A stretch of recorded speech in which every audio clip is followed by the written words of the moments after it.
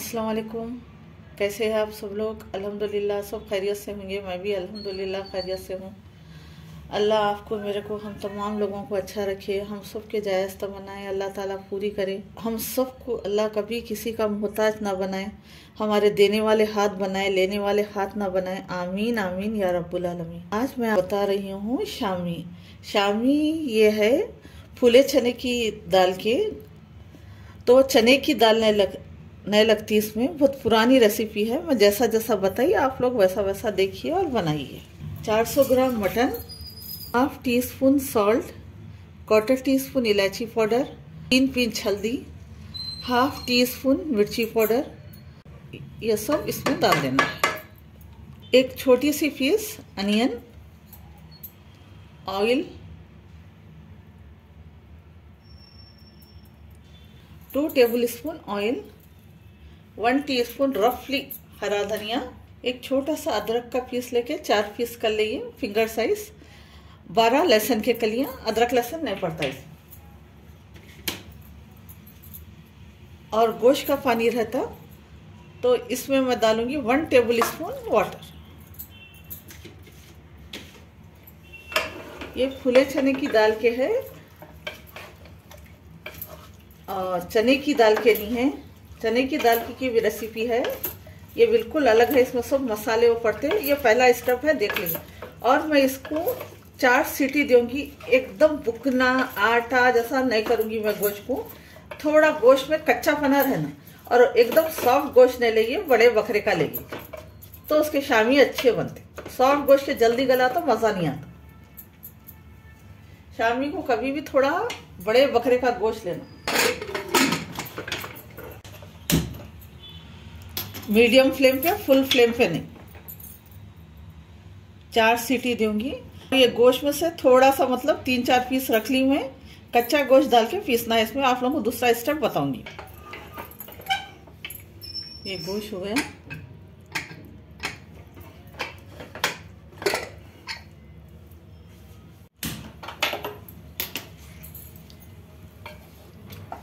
इसमें पानी है। बत्ती फुल रखूँगी मैं। पानी एकदम ड्राई कर दूँगी इसका मैं, जब तक आप लोगों को बता रही हूँ। आठ दस पुदीने के पत्ते, पाँच से छः टीस्पून हरा धनिया, बिल्कुल रफली काढ़ी समेत रहना है, मोटी काढ़ी ने कौली करी और एक हरी मिर्ची पीसेस कर ली मैं, आप लोग मिर्ची अपने अंदाजे से डालिए। और ये जितना मटन है ना, उसके हिसाब से ये हरा मसाला है। दही है three teaspoon खोपरा dry coconut roasted two teaspoon और ये खशखश है, रोस्टेड वन टीस्पून और जहाँ खशखश नहीं मिलती, खशखश नहीं है तो जितना मटन है उसके हिसाब से आप पाँच से छः बादाम ले सकते अब कोई बोलेंगे, आंटी, हम फली डाल सकते क्या? फली डाल सकते हैं, मगर टेस्ट नहीं आता। काजू अच्छा नहीं दिखता इसमें, चिरौंजी अच्छी नहीं लगती। ये थ्री पीस ये मटन के लिहाज से इतना। तो ये कच्चा गोश्त डाल के पीसना है। पहले कच्चा गोश्त पीस के थोड़ा थोड़ा डाल के आप ग्राइंडर में पीसना है। ये मटन के, पके मटन के साथ आप कच्चा गोश्त पीसेंगे तो हरगिज नहीं पीसे जाएँगे। ये फुले चने की दाल का पाउडर है ये। आप पहले रोस्ट कर लेना लाइट उसके बाद पीस लेना इसको। ग्राइंड उसके बाद पीस के क्या करना है? तीन चार वक्त जो आटा छानते सो छन्नी रहती ना, उसके बाद छान के आप एक डब्बे में भर के रख ले सकते डायरेक्ट पीसेंगे आप एक बार तो उसके दाने दाने आते जैसा चावल पीसे तो कैसा आते तो छानना ज़रूरी रहेंगे अगर दो तीन वक्त आप पीसे बाद से भी दाने दिख रहे हैं उसमें बस ग्राइंडर अच्छे नहीं रहते, एकदम बारीक नहीं होता। तो बारीक निकाल के आप उसमें दही मिला के हाथ पैर पे स्क्रब कर सकते आप। तो क्लीन हो जाते हाथ पैर फेस पे नहीं करना राइश साथ दही मिलाना ज़रूरी रहेगा उसके अंदर। पैक बना के करना उस गोश्त को ऐसा भुनना है, गोश्त ऐसा गलना है कि आटा नहीं बनना है। बोटी दिखना है उसमें, गोश्त का पीस अब मैं दही डाल दूँगी अगर नींबू डालना चाह रहे हैं, आपका ने दही नहीं है तो इसमें डेढ़ नींबू लगेगा आप। नहीं तो दही डाल सकते हैं। इसमें ये मसाला भी डाल देंगे। खसखस खोपरा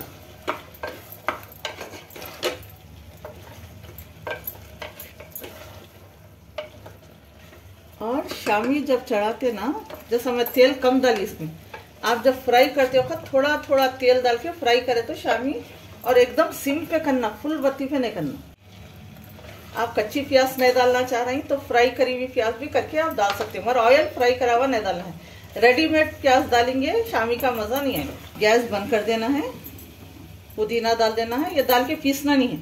अब ऐसे डाल के ठंडा करना है। उसके बाद ग्राइंड करना है। गोश्त नहीं पीसे जाएगा, शामी का मज़ा नहीं आएगा। ये पहले बहुत बनते थे, आजकल लोग नहीं बना रहे और हमारे पास बनते ये मैं दुबई में रहने खचखच नहीं रहती थी ना तो मैं बादाम डाल के पीसती थी तो इसलिए वो बोल अब इसको मैं ठंडा होने दूँगी और फ्रिज में रख के ठंडा नहीं करना टेस्ट निकल जाता। और आप प्याज भी फ्राई करते ना तो फ्रीज़र में रख देते प्याज जल्दी क्रंचीनेस आना बोल के तो उसके बाद आप चूरा करके फ्रिज में रख देना, प्याज का टेस्ट निकल जाता। बिरयानी में, पसींदों में चिकन में, जो भी अपन सालन में, खौरमे में डाल रहे ना, वो मज़ा नहीं रहता फ्रीज़र में रखे। कुदरती हवा से प्याज सूखना फ़ैन में भी नहीं रखना। ये ठंडा हो गया। इसको ग्राइंड कर लूँगी मैं। पहले ये पीसूँगी, ये पीस के इसमें डाल दूँगी। नहीं डाले तो भी चलता।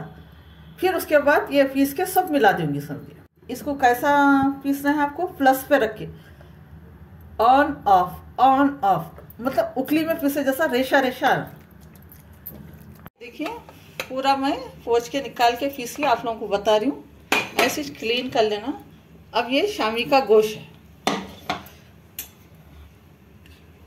अब इसमें वन टू थोड़ा थोड़ा करके डालना है। जितना लगेगा उतना डालेंगे। इससे दो ली मैं teaspoon two teaspoon फुले चने की दाल का पाउडर, ग्राइंड करा हुआ, रोस्टेड करा हुआ।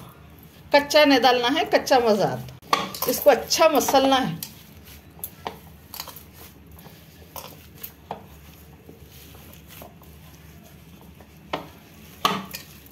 पहले टू टी स्पून मिलाई थी और वन टी स्पून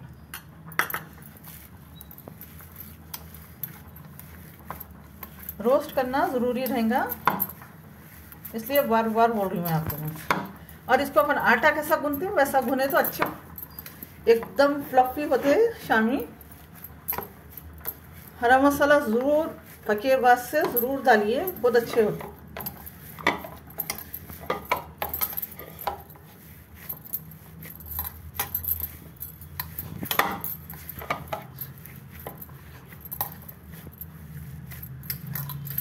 बस गोश्त इस टाइप से पीसना है।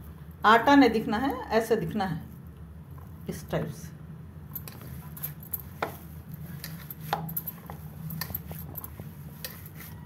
और गोश्त ऐसा भुनना, जो गोश्त की बोटी रहती ना, टूटना नहीं, गलना, टूटना नहीं। चलिए अब अच्छा हो गया। अब इसमें जुमला थ्री टी स्पून लगा फुले चने की दाल। जो ग्राइंड करी हुई है ना, वो लगा, समझिए। अब उससे ज़्यादा नहीं। अपने को अब तलने में मालूम हो जाता। अब भी मैं हाथ धो के फिर शामी बनाऊ। ये एक बनाई मैं। आप लोगों को बता रही थोड़ा ऑयल लगा लेना और ऐसा करना है इसको।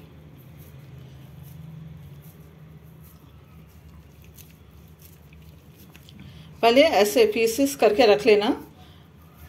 बॉल टाइप एक साथ कितने बनाना चाह रहे हैं आप? फ्रीज के कर फ्रीज कभी करके रख सकते हैं इसको। और थोड़ा थिक रहते ये पतले पतले नहीं रहते, शाही शामी है अगर थोड़ा गोश्त कम दिखा तो फिर ऐसा तोड़ के लगाना।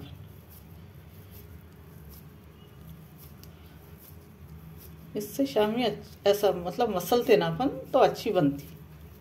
ये हाथ से ऐसा, बीच में थोड़ा पतला रहना, साइडों में थोड़ा मोटा रहना ऐसा। अब इसमें आप लोगों को कहीं भी तड़क नहीं दिख रही, जब शामी अपन बनाते रहते ना, तड़क नहीं रहना। तड़क रही तो ऐसा बाजू कौन से, ऐसा बराबर करते रहना। या तो शामी फट जाती। तो जब आप हाथ से ऐसा मलेंगे ना तो तड़क नहीं आएँगी। पहले करते थे हम, आजकल कहाँ कर रहे हैं? आजकल फास्ट फ़ूड का ज़माना है। पहले के लोग नहीं है, पहले के बरकतें नहीं है, पहले की मोहब्बत नहीं है, पहले का पैसा नहीं है। कोई चीज़ पहले की नहीं है।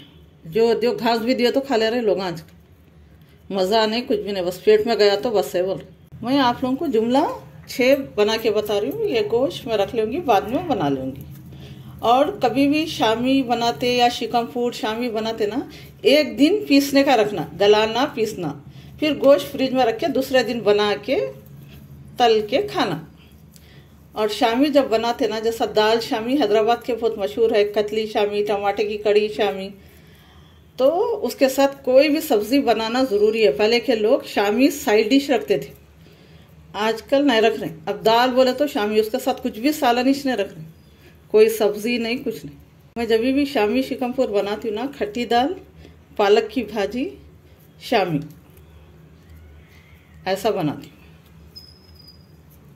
या कतली बनाती हूँ। शामी शिकमपुर, कतली के साथ सुक्के पसंदे बनाती हूँ। फिर उसके साथ शामी, साइड डिश। ये नहीं, शामी है बोल के कोई दूसरी चीज़ नहीं पका रहे ऐसा नहीं करते। फिर अंकल के थोड़े नखरे रहते अम्मा। पंचायत नहीं करते मतलब ये होना बोल के ऐसा नहीं है। ये भी बनाना था, वो भी बनाना था, ऐसा बोलते। थोड़ा बनाना था बोलते। चलिए, हो गया। अब थोड़ा ऑयल डालूँगी इसमें। मैं आप लोग को जितना ऑयल लगाना बोल दूँगी। टोटल टू टेबल स्पून डाली मैं। अब इसको गरम करना है, ज़्यादा गरम नहीं करना है, ऐसा धुआँ निकले जैसा, शामी जल जाती। शामी मोटी बनाए तो थोड़ा सबर से तल लो। पतली शामी बनाए तो टेस्ट नहीं रहता।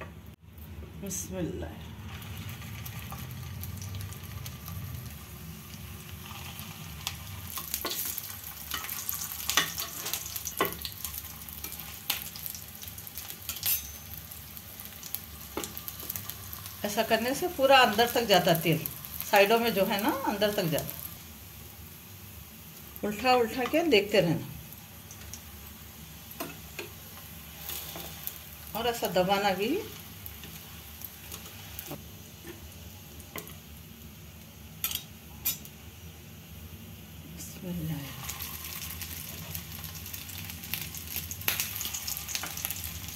अब ये निकाल लूँगी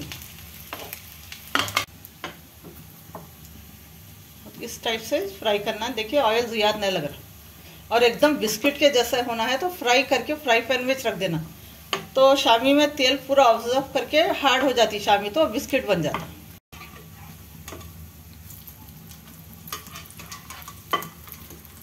अब मैं आप लोगों को पूरे तल के बता दूँ टोटल सिक्स बोली थी ना मैं, पूरे फ्राई हो गए। ये स्पून से टू टेबल स्पून ऑयल लगा। शामी बन के तैयार है। रोटी से भी अच्छे दिखेंगे, चावल, जो भी आप बनाना चाह रहे हैं। और आप लोगों की मर्ज़ी है। कितने थिक, मगर शामी थिक रहे तो बहुत अच्छे दिखते। अगर हैदराबादी शामी बोला तो इस टाइप के रहते। लाइक करिए शेयर करिए सब्सक्राइब करिए। दुआ में याद रखिए। ओके टेक केयर अल्लाह हाफिज़।